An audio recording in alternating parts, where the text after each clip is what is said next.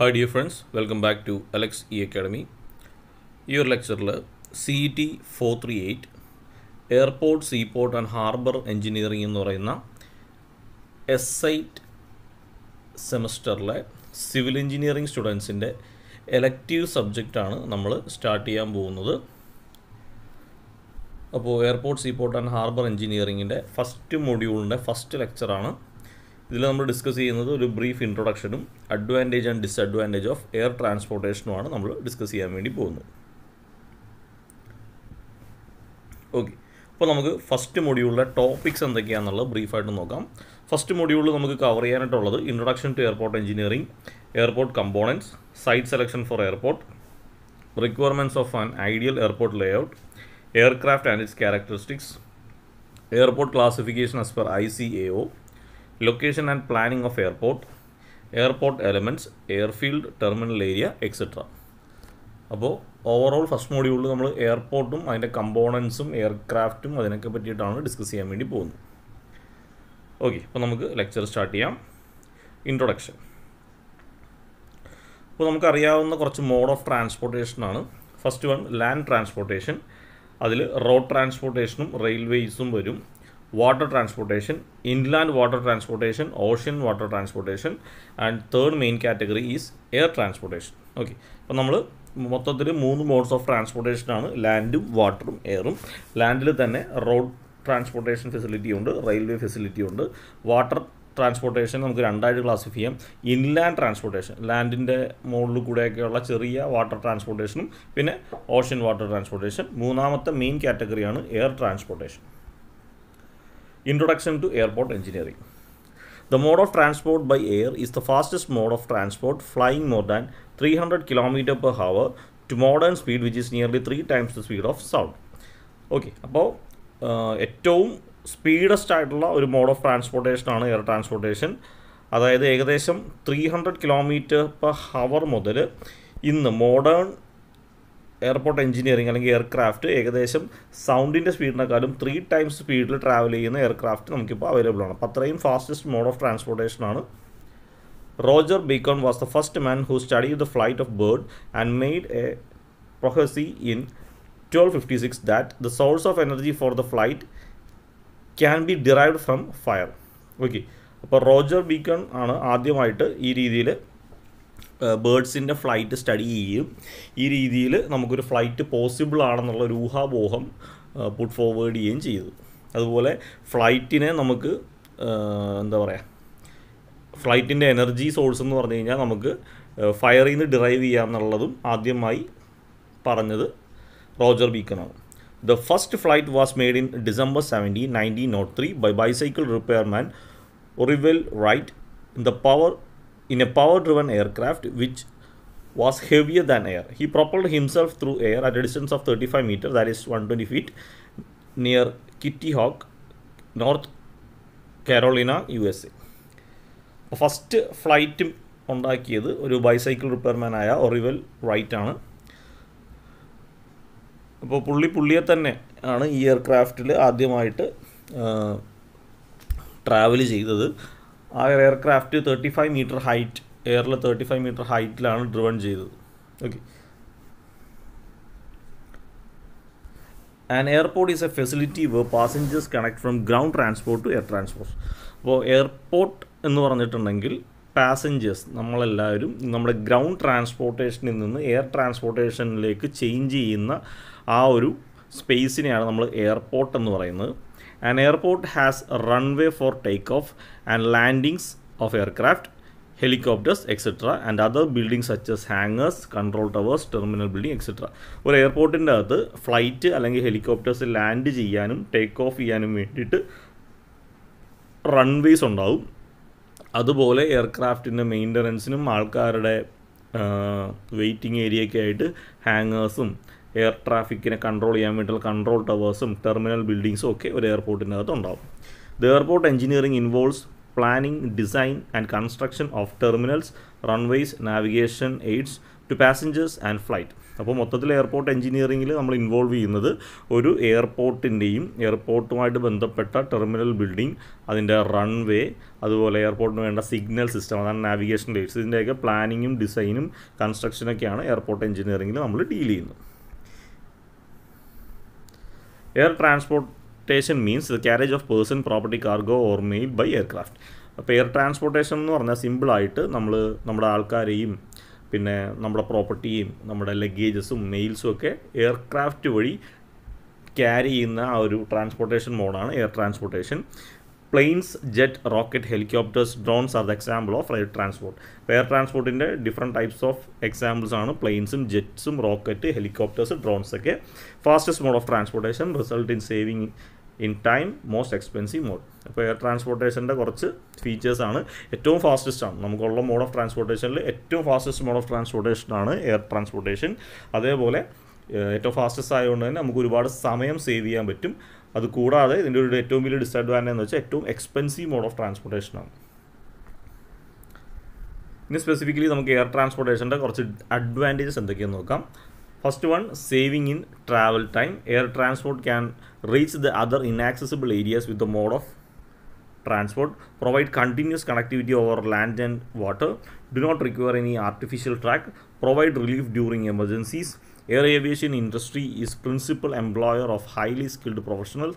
Engineering use, that is preparation of maps by aerial photography used in construction of high-rise buildings, etc. helps in tourism generate foreign revenues. അപ്പോൾ air ട്രാൻസ്പോർട്ടേഷന്റെ advantages just points മാത്രമായിട്ട് list ചെയ്തേക്കുവാണ് first one നമുക്ക് travel time ഒരുപാട് save ചെയ്യാൻ പറ്റും ഇനി നമുക്ക് മറ്റ് എയർ ട്രാൻസ്പോർട്ടേഷൻ ഫെസിലിറ്റിയിൽ ഇൻ ഇൻആക്സസിബിൾ ആയിട്ടുള്ള ഏരിയാസിലേക്ക് വരെ നമുക്ക് എയർ ട്രാൻസ്പോർട്ടേഷൻ പോസിബിൾ ആണ്. ഇനി അതുപോലെ തന്നെ continuous connectivity over land and water നമുക്ക് എവിടെ നിന്ന് എങ്ങോട്ട് പോകണമെങ്കിലും നമുക്ക് ട്രാവലിങ്ങിൽ ഇൻട്രപ്ഷൻ ഇല്ല. നമുക്കത് കണ്ടിന്യൂസ് ജേണി ആയിട്ട് കണ്ടിന്യൂ ചെയ്യാൻ പറ്റും. ഇനി ഇതിന് ആർട്ടിഫിഷ്യൽ ട്രാക്ക് ഒന്നും ആവശ്യമില്ല. ഇപ്പോൾ നമുക്ക് റോഡ് ട്രാൻസ്പോർട്ടേഷന് റോഡ് പ്രൊവൈഡ് ചെയ്യണം ബ്രിഡ്ജസ് പ്രൊവൈഡ് ചെയ്യണം. അതുപോലെ റെയിൽവേസിന് ട്രാക്ക് പ്രൊവൈഡ് ചെയ്യണം. അതേപോലെ ആർട്ടിഫിഷ്യൽ ട്രാക്സ് ഒന്നും നമുക്കിവിടെ ആവശ്യമില്ല. ഇനി എന്ത് എമർജൻസി സിറ്റുവേഷൻ ഉണ്ടായാലും എയർ ട്രാൻസ്പോർട്ടേഷനാണ് അവിടെ ഒരു റിലീഫായിട്ട് ഫുഡും ഇവാക്വേഷനൊക്കെ വേണ്ടി ചെല്ലുന്നത്. ഇനി അതുപോലെ തന്നെ എയർപോർട്ട് ഇൻഡസ്ട്രി ഏവിയേഷൻ ഇൻഡസ്ട്രി എന്ന് പറഞ്ഞാൽ ഒരുപാട് ഹൈ സ്കിൽഡ് പ്രൊഫഷണൽസിന് ജോലി കൊടുക്കുന്ന ഒരു ഫീൽഡ് കൂടിയാണ്. അതായത് എയർപോർട്ട് സ്റ്റാഫ് പിന്നെ അതിന്റെ എയർക്രാഫ്റ്റിന്റെ അകത്തുള്ള എംപ്ലോയീസ് അതിന്റെ മെക്കാനിക്ക് അങ്ങനെ ഒരുപാട് പ്രൊഫഷണലി സ്കിൽഡ് ആയിട്ടുള്ള ജോബ്സ് പ്രൊവൈഡ് ചെയ്യുന്നൊരു ഫീൽഡാണ് എയർ ഏവിയേഷൻ ഇനി എയർ ട്രാൻസ്പോർട്ടേഷന്റെ എഞ്ചിനീയറിംഗ് യൂസ് എന്ന് വെച്ച് കഴിഞ്ഞാൽ നമുക്ക് ഏരിയൽ ഫോട്ടോഗ്രാഫി വെച്ച് മാപ്സ് പ്രിപ്പയർ ചെയ്യാം. അതുപോലെ ഹൈ റൈസ് ബിൽഡിങ്സിന്റെ ഒക്കെ കൺസ്ട്രക്ഷന് വേണ്ടി യൂസ് ചെയ്യാം. അതേപോലെ എയർ ട്രാൻസ്പോർട്ടേഷൻ ഡെവലപ്പ് ആയി കഴിഞ്ഞാൽ അതിനനുസരിച്ച് നമ്മുടെ നാട്ടിൽ ടൂറിസം ഡെവലപ്പ് ആവും. ഫോറിൻ റവന്യൂസ് ജനറേറ്റ് ചെയ്യാനും പറ്റും. ഇത്രയാണ് എയർ ട്രാൻസ്പോർട്ടേഷന്റെ അഡ്വാന്റേജ് ബ്രീഫായിട്ട് വരുന്നത്. ഇനി ഇതിനകത്ത് വരുന്ന ഒന്ന് രണ്ട് സ്പെസിഫിക് പോയിന്റ്സ് നമുക്കൊന്ന് ഇലാബറേറ്റ് ചെയ്ത് നോക്കാം. First one, accessibility. The air transport can reach the otherwise inaccessible areas with other mode of transport and such area can therefore be economically developed with air transport only അപ്പോൾ മറ്റ് mode of road ട്രാൻസ്പോർട്ടേഷനും water ട്രാൻസ്പോർട്ടേഷനും വെച്ച് നമുക്ക് എത്തിപ്പെടാൻ പറ്റാത്ത ഇന്നാക്സസിബിൾ ആയിട്ടുള്ള എല്ലാ ഏരിയയിലേക്കും നമുക്ക് എയർ ട്രാൻസ്പോർട്ടേഷൻ വഴി എത്തിപ്പെടാൻ പറ്റും. അതുവഴി ആ ഏരിയാസിനെയൊക്കെ നമുക്ക് ഡെവലപ്പ് എക്കണോമിക്കലി ഡെവലപ്പ് ചെയ്തെടുക്കാനും പറ്റും. അടുത്തത് continuous journey aeroplanes can fly over both namely land and water they also do not require any artificial track. In case of railways and roadways. Thus it grants the facility a continuous journey over the long distance. അപ്പോൾ continuous ജേണിയാണ് അടുത്തൊരു Advantage അപ്പോൾ ലാൻഡിന്റെ മുകളിൽ കൂടെയും വാട്ടറിലൂടെയും ഒരേപോലെ നമുക്ക് aeroplanes fly ചെയ്യാൻ പറ്റും. മാത്രമല്ല ഇതിനെന്തെങ്കിലും ട്രാവൽ ചെയ്യുന്ന പാത്തിൽ നമുക്ക് ആർട്ടിഫിഷ്യൽ ട്രാക്സിന്റെ ഒന്നും ആവശ്യമില്ല. ലൈക്ക് റെയിൽവേസ് ആൻഡ് റോഡ്സ് അതുപോലെ ലോങ് ഡിസ്റ്റൻസ് ആണെങ്കിലും കണ്ടിന്യൂസ് ആയിട്ടുള്ള ഒരു ജേണി ഇത് നമുക്ക് ഗ്യാരണ്ടി ചെയ്യുന്നു. Of technical skills the manufacture of aeroplanes and their maintenance as well as development design and construction of airports have opened new opportunities for highly technical man power The air aviation industry can therefore claim to be the principal employer of high skilled professionals in the field. ഇപ്പോൾ നമ്മൾ നേരത്തെ പറഞ്ഞ പോലെ ഒരുപാട് high skilled പ്രൊഫഷണൽസിന് നമുക്ക് air transportation ഫീൽഡിലേക്ക് ആവശ്യമുണ്ട്. എവിടെയൊക്കെയാണെന്ന് പറഞ്ഞിട്ടുണ്ടെങ്കിൽ ഒരു എയർക്രാഫ്റ്റ് ഉണ്ടാക്കാൻ മാനുഫാക്ചർ ചെയ്യാനും മെയിന്റനൻസ് ചെയ്യാനും നമുക്ക് ഒരുപാട് സ്റ്റാഫിന് ആവശ്യമുണ്ട്.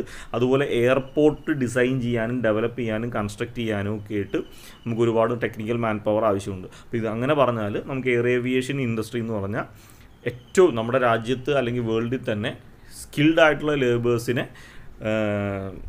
ആവശ്യമുള്ളതിൽ ഏറ്റവും പ്രൈം ആയിട്ടുള്ളൊരു ഇൻഡസ്ട്രിയാണ് എയർ ഏവിയേഷൻ ഇൻഡസ്ട്രി അടുത്തത് emergency use air service can be used for destroying the pests by aerial spray of the of the chemi spray of the chemical it is also extremely used in floods for dropping food packages to the affected people and for observing the areas to access the gravity of the situation അപ്പോൾ emergency ഉണ്ടാകുന്ന സിറ്റുവേഷനുകളിൽ ഇപ്പോൾ ഒരു ലൊക്കാലിറ്റിയിൽ നമുക്ക് ഒരുപാട് പെസ്റ്റിന്റെ ഒക്കെ attack സമയത്ത് നമുക്കതിനെ നേരിട്ട് ചെന്ന് സ്പ്രേ ചെയ്യാൻ അറ്റാക്ക് അതിനെ റെസിസ്റ്റിംഗ് സ്പ്രേ ചെയ്യാൻ പറ്റില്ല. അപ്പോൾ ആ അവസ്ഥയിലൊക്കെ നമുക്ക് അതിനെ ഡിസ്ട്രോയ് ചെയ്യാൻ വേണ്ടിയിട്ട് എയർ ട്രാൻസ്പോർട്ട് യൂസ് ചെയ്യാൻ പറ്റും. അതുപോലെ ഫ്ലഡ് ഉണ്ടാകുന്ന സമയത്തൊക്കെ നമുക്ക് ഫ്ലഡ് അഫക്റ്റഡ് ആയിട്ടുള്ള ഏരിയാസിൽ ഫുഡ് ഡ്രോപ്പ് ചെയ്ത് കൊടുക്കാനും നമുക്ക് മുകളിൽ ആ ഫ്ലഡ് അഫക്റ്റഡ് ഏരിയ ഒബ്സർവ് ചെയ്ത് ഉണ്ടായ ഡിസാസ്റ്ററിന്റെ ഗ്രാവിറ്റി അളക്കാനൊക്കെ നമുക്ക് എയർ ട്രാൻസ്പോർട്ടേഷൻ ഹെൽപ്പ് ചെയ്യും. അടുത്ത എഞ്ചിനീയറിംഗ് യൂസ് ആണ്. Air service is finding at present and increasing engineering use in the preparation of maps by aerial photography. The helicopters can be used in the construction of some high rise building. Already നമ്മൾ mention ചെയ്തതുപോലെ engineering use ആയിട്ട് നമുക്ക് maps prepare ചെയ്യാനായിട്ട് aerial ഫോട്ടോഗ്രാഫിക്ക് വേണ്ടിയിട്ട് aircraft use ചെയ്യാം. അതേപോലെ helicopters ഒക്കെ ഹൈ റൈസ് ബിൽഡിങ്ങിന്റെ കൺസ്ട്രക്ഷന് വേണ്ടി ഹെൽപ്പ് ചെയ്യാൻ യൂസ് ചെയ്യും. After all last point saving in time it has result in tremendous saving in travel time because of the high speed of aeroplanes എറോപ്ലെയിൻസിന് high speed ആയതുകൊണ്ട് തന്നെ നമുക്ക് മറ്റേത് മോഡ് ഓഫ് ട്രാൻസ്പോർട്ടേഷനെക്കാളും tremendous time ഒരുപാട് സമയം നമുക്ക് എയർ ട്രാൻസ്പോർട്ടേഷൻ വഴി save ചെയ്ത് എടുക്കാൻ പറ്റും. അടുത്തത് എയർ ട്രാൻസ്പോർട്ടേഷന്റെ ഡിസ്അഡ്വാന്റേജസ് ആണ്.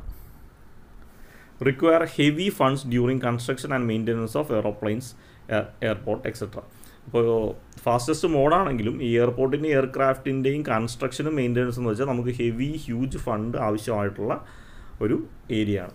ഇനി travel fare is high air transportation speed കൂടുതലാണ് പെട്ടെന്ന് എത്താൻ പറ്റുമെങ്കിലും അതിന്റെ അകത്ത് നമുക്ക് ട്രാവൽ ഫെയർ എന്ന് പറഞ്ഞാൽ ഭയങ്കര ഹൈ ആണ്. Highly depend on weather condition compared to other mode can operate only during favourable condition ഏറ്റവും കൂടുതൽ വെതർ ഫോർകാസ്റ്റിന് ഡിപ്പെൻഡ് ചെയ്തിരിക്കുന്നത് മോഡ് ഓഫ് ട്രാൻസ്പോർട്ടേഷൻ ആണ് എയർ ട്രാൻസ്പോർട്ടേഷൻ അപ്പോൾ വെതർ കണ്ടീഷൻ ഫേവറബിൾ ആണെങ്കിൽ മാത്രമേ നമുക്ക് എയർ ട്രാൻസ്പോർട്ട് ഈസിലി കൊണ്ടുപോകാൻ പറ്റുള്ളൂ. റിക്വയർസ് ഹൈലി സോഫിസ്റ്റിക്കേറ്റഡ് മെഷീനറി അപ്പോൾ എയർപോർട്ടിന്റെയും എയർക്രാഫ്റ്റിന്റെയും കൺസ്ട്രക്ഷനും മെയിന്റനൻസിനും വേണ്ടിയിട്ട് ഒരുപാട് കോംപ്ലിക്കേറ്റഡ് ആയിട്ടുള്ള സോഫിസ്റ്റിക്കേറ്റഡ് എന്ന് വെച്ചാൽ കോംപ്ലിക്കേറ്റഡ് ആയിട്ടുള്ള മെൻ ആൻഡ് മെഷീനറി നമുക്ക് ആവശ്യമായിട്ടുണ്ട്. അതും കോസ്റ്റ്ലിയാണ് add to outward flow of foreign exchange purchase of equipment air buses etcetera അപ്പോൾ നമുക്ക് എയർപോർട്ട് വഴി ടൂറിസം ഡെവലപ്പ് ആവുന്നുള്ളൊരു പോസിറ്റീവ് സൈഡ് ഉണ്ടെങ്കിലും ഈ എയർക്രാഫ്റ്റിന്റെ കൺസ്ട്രക്ഷനും മെയിന്റനൻസിനും ബൈയിങ്ങിനും വേണ്ടിയിട്ട് നമ്മൾ എക്യുപ്മെൻസും എയർ ബസ്സസൊക്കെ പുറത്ത് പുറം രാജ്യങ്ങളിൽ നിന്നാണ് പർച്ചേസ് ചെയ്യുന്നത്. അതുവഴി നമ്മുടെ ഔട്ട്വേർഡ് ഫോറിൻ എക്സ്ചേഞ്ച് കൂടും. പുറത്തേക്ക് നമുക്ക് കാശ് ഒരുപാട് ചിലവാക്കേണ്ടി വരും. Safety provisions are not adequate providing a support system during the flight is complicated. അപ്പോൾ ഏറ്റവും കൂടുതൽ അപകട സാധ്യത സേഫ്റ്റി പ്രശ്നമുള്ള ഒരു ഫീൽഡ് ട്രാൻസ്പോർട്ടേഷൻ മോഡാണ് കാരണം ഫ്ലൈറ്റ് ചെയ്യുന്ന സമയത്ത് നമുക്ക് എന്തെങ്കിലുമൊക്കെ ഒരു കോംപ്ലിക്കേഷൻ വന്നാൽ ഇത് വളരെ ഡിസാസ്റ്റർ ആയിട്ട് മാറാൻ ചാൻസ് ഉണ്ട്. Specific demarcation of flight paths and territories flight rules are to be strictly abide അപ്പോൾ അതുപോലെ തന്നെ നമ്മൾ ഈ ഫ്ലൈറ്റ് ചെയ്യുന്ന സമയത്തും നമ്മുടെ ടെറിട്ടറിയും കറക്റ്റായിട്ട് ഫോളോ ചെയ്യണം. കാരണം ഫ്ലൈറ്റ് റൂൾ ഉണ്ട്. നമ്മുടെ അതിർത്തി വിട്ട് കഴിഞ്ഞാൽ ഇന്ത്യ വിട്ട് കഴിഞ്ഞാൽ മറ്റ് രാജ്യങ്ങളുമായിട്ട് നമ്മൾ ട്രാവൽ സ്പേസ് എടുക്കുകയാണെങ്കിൽ ഫ്ലൈറ്റ് റൂൾസൊക്കെ നമ്മൾ കറക്റ്റ് സ്ട്രിക്റ്റ് ആയിട്ട് ഒബേ ചെയ്തേ പറ്റും. ഇത്രയാണ് എയർ ട്രാൻസ്പോർട്ടേഷന്റെ ഡിസഡ്വാന്റേജ് ആയിട്ട് വരുന്നത്. അപ്പോൾ ഈ ലെക്ചറിൽ നമ്മൾ ജസ്റ്റ് ഒരു ഇൻട്രൊഡക്ഷൻ ആണ്. എയർ ട്രാൻസ്പോർട്ടേഷൻ എന്താണെന്ന് പറഞ്ഞു അതിന്റെ അഡ്വാന്റേജും ഡിസഡ്വാന്റേജുമാണ് നമ്മൾ ഡിസ്കസ് ചെയ്തത്. ഈ ലെക്ചറിൽ ഇത്രയേ ഉള്ളൂ. താങ്ക്